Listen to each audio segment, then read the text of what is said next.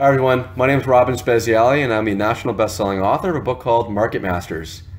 You can pick up Market Masters at your local bookstore, library, or you can go online at amazon.com or amazon.ca and pick up the book there. Now today in this video I'll be talking about um, 20 plus growth microcaps and this list of you know 20, 21 in total growth microcaps um, is actually from a blog post I wrote that's called Small Companies, Big Dreams. And it was about um, 60 microcap companies trading on the TSX and venture exchanges here in Canada.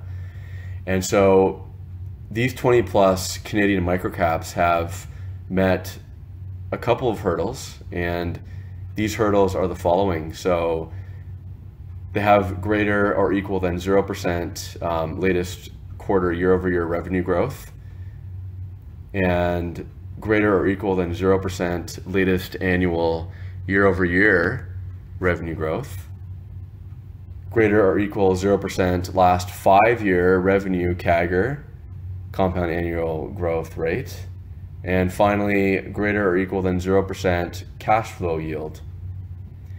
And so if you look at the averages of all these metrics among these 21 uh, microcap companies, um, the average quarter year over year revenue growth is 26%, which is quite high. The average annual year over year uh, revenue growth um, is 39%.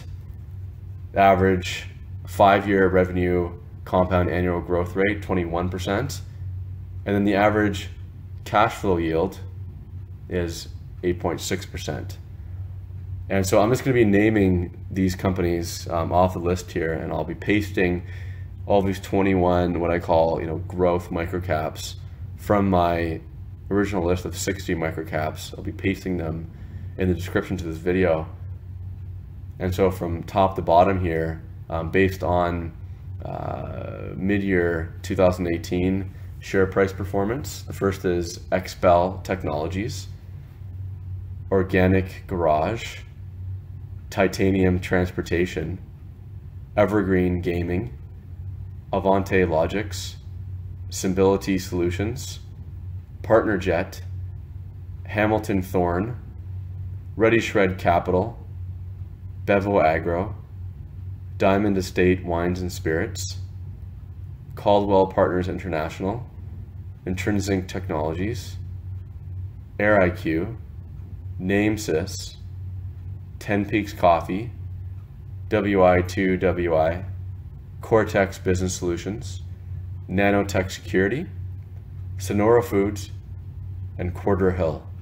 Now, all these 21 Canadian microcaps, again, you can find them on my list of future 60 microcaps, I call them. You can read my original blog post called Small Companies, Big Dreams, and you can see all 60 microcaps that I have in my, my universe, I call it.